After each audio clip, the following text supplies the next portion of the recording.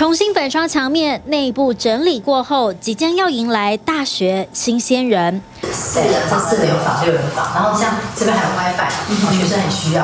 然后电风扇一定也要，然后冷气一定是必备。传统上铺形式，下方是书桌以及衣柜，大家得要一起生活，更要使用公共空间，想要自己的隐私，恐怕通通都没有。不过近来有越来越多的大学生宁愿选择住学校宿舍。其实大三、大四还是有一些课程在山上，所以如果不住宿舍或者是选择住外面的话，不管是呃租金的考量也好，还是呃交通通勤考量也好，其实综合考量下来，其实住学校宿舍是比较划算，而且也是比较方便的一个选择。就住在校园里头，随时要赶上课，相对方便。不过大部分的原因依旧是这个。如果真的平均下来来看的话，其实每个月平均下来，其实会差到呃四五千块，可能有经济其实就没有到那么呃能够负担那么重，所以其实呃一个月可以差到三四千块，呃对于学生来讲，其实会影响蛮多的。一个学期比起外面租屋一个月，经济压力没那么大。再加上学校有开放，暑假期间继续住宿，方便中南部的打工学生们。只是六个人住一间，常常小心结也就这样产生了。是听音乐好，还是呃早出晚归，甚至是讲电话这种可能会制造噪音的，呃，在群体生活里面是比较容易影响到其他人。但都是小事，因为光是租金还有安全性就能让家长放心不少。今年以台北的文化大学为例，申请住宿比起以往都来得更加踊跃。符合宿舍申请条件的学生，他的申请的比率比过往其实还要来得更高一些。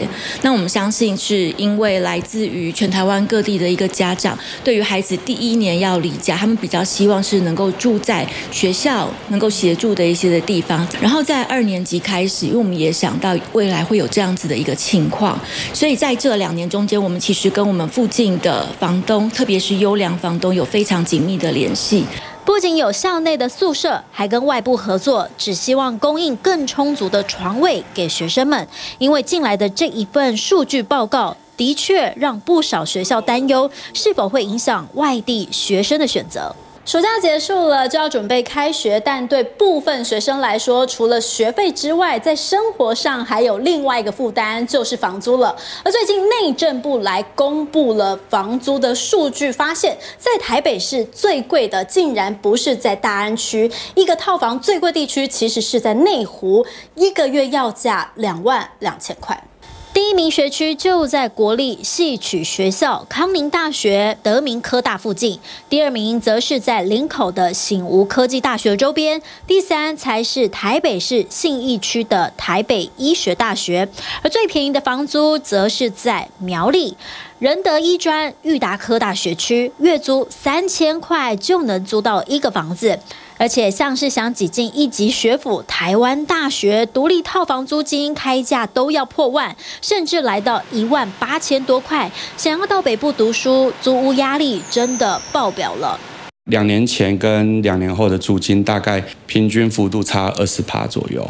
对，像以分租套房来讲的话，两年前大概一万块上下，现在大概基本上都要一万二左右。对，那像一些独立的套房啊，那价位又。比较惊人了，大家都会去参考，因为其实现在资讯蛮透明的。其实网络上的一些租金行情跟大家周遭邻居怎么租房子都看都看得见。后面他发现，哎，邻居呃最近拿出来租房子已经可以租到多少了，就会开始蠢蠢欲动。如果想省钱，房仲也建议可以选择四楼以上的房源或是雅房，价格相对便宜，溢价空间或许能稍稍多一些。房价租金涨升四起，上班族同样也受影响。想要拥有生活品质真的不容易。面对居住正义，恐怕不是只有一般民众期盼得到。好不容易考上向往的学校，结果第一关住的问题负担却越来越重。TVB 新闻，洪富华、先轮台北采访报道。想看最完整的新闻内容，记得下载 TVBS 新闻网 APP。